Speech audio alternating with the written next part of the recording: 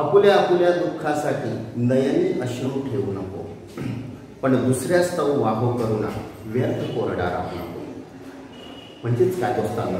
तर स्वतःच्या आपल्याच रडगाण्यानं दुसऱ्याला ते सांगत फिरू नको. स्वतःचं दुःख स्वतःचं दुःख स्वतःचं दुःख जर सांगत राहिला तर मग जगाच्या किंवा इतरांच्या उपयोगामध्ये किंवा इतरांच्या दुःखामध्ये तू साथीदार केव्हा बनणार?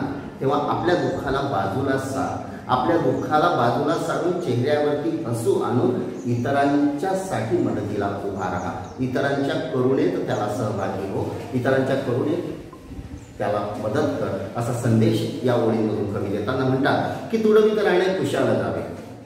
तुडवीत राहणे खुशाल जावे. नव्या पंथाला भिवू नको. ज्यावर श्रद्धा प्राणा आतून. ज्यावर श्रद्धा प्राणा आतून ते केल्याविना राहू नको. आयुष्याचा हा छान संदेश कवी देत आहे की नव्या वाटा शोध. त्याच त्याच मार्गानं त्याच त्याच मार्गानं जाऊ नको. माझी सवंगडी दहावी बारावी झाल्यानंतर इंजिनिअरिंगला जातील. तू तोच तोच मार्ग नको पत्करू राजा. परमेश्वरानं प्रत्येकाला वेगळं बनवलंय. तुझ्या आतमध्ये काय आहे ते शोध आणि स्वतःची वाट निर्माण कर. रानावनात फिरायला नाही सांगत. इथं कमी. इथं नव्या वाटा शोधायच्या म्हणजेच काय?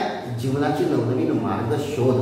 नवनवीन मार्ग शोधून तू तुझं आयुष्य जे आहे ते सुंदर बनवण्याचा प्रयत्न कर. आणि ज्यावरती श्रद्धा आहे ज्या कामावरती श्रद्धा आहे ज्या गोष्टीवरती श्रद्धा आहे जी गोष्ट मनापासून करावी करावीशी वाटते ना ती निश्चित कर.